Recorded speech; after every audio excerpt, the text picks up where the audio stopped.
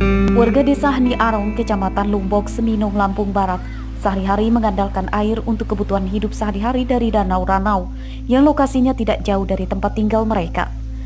Air danau yang memiliki rasa tawar ini digunakan warga untuk mandi, mencuci, hingga memasak.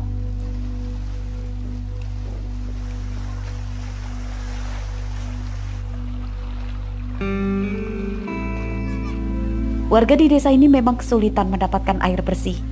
Mereka yang tinggal di daratan tinggi ini tidak memiliki sumur sendiri karena sulit dibuat. Kondisi tersebut diperparah dengan keberadaan bantuan bak penampungan dari Program Nasional Penyedia Air Minum dan Sanitasi Berbasis Masyarakat atau PAMSIMAS yang tidak efektif.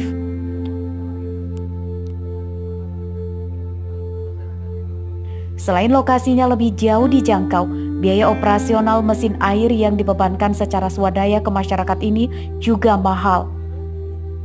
Danau. Kami kan air bersih belum dapat. Jadi ngambil di danau. Ya, kami di danau. Untuk kebutuhan air minum sama mandi setiap hari gimana? kami di air, mandi balik ke air kan Pak, Terus air minum juga dari danau. dari danau. Walaupun jauh-jauh di atas itu masih ngambil air danau. Artinya sekarang ini kita listrik pakai listrik apa? Tes. Pakai PLTS. Ya, agak serang kami kan yang utama kan air kan termasuk. Udahnya ya lampu, PLN kan. Warga berharap kepada pemerintah agar desa ini pasang jaringan listrik negara atau PLN untuk menggantikan listrik tenaga surya yang sudah terpasang namun nyalanya hanya malam hari saja. Hal tersebut untuk menekan biaya operasional menyalakan mesin air agar bisa lebih murah.